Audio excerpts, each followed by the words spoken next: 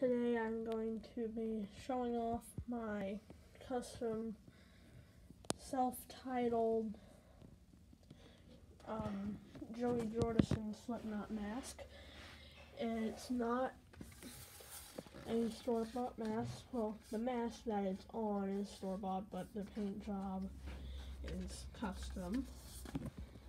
I went for the for the self-titled look instead of the Mate Feed Kill Repeat version because I think just the self-titled yeah, it's just, it just kind of it just gave me something to do. And I think it just it looks pretty. I think it came out similar. It's not, I'm not trying to say this is close to professional, but I just wanted to showcase this.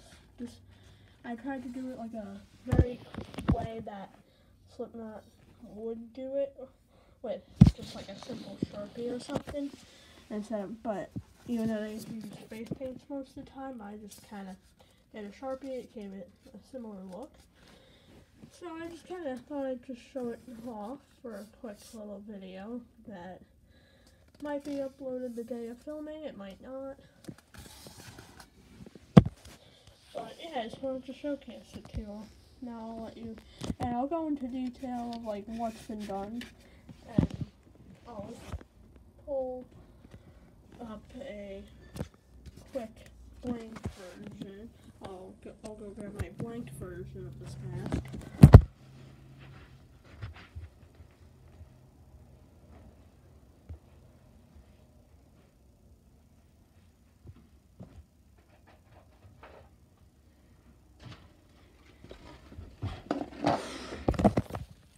So here's the blank version.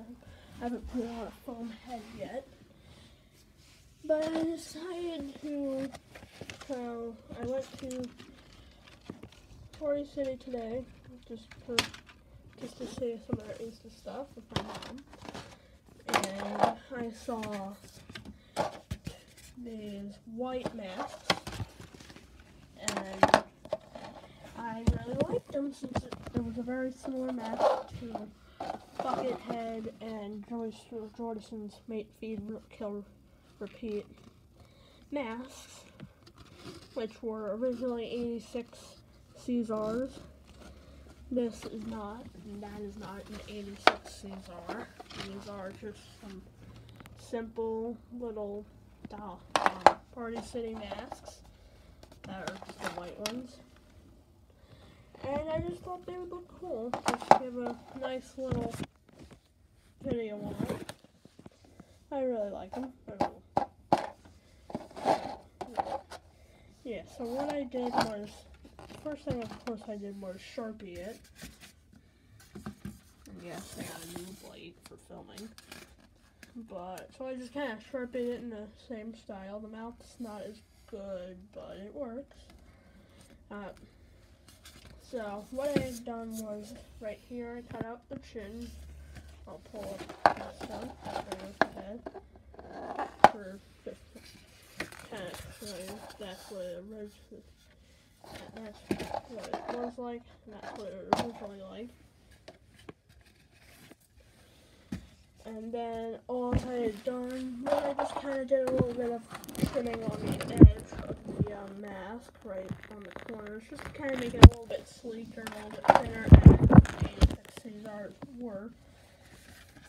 So that's just about it for my review, well, my show, my show of my custom Joey Jordison self-titled mask. And I'll shut up for a bit and I'll just kind of let you all see what the mask looks like in better lighting. With some lights on it and yeah, think I'll end the video there. So, bye everyone.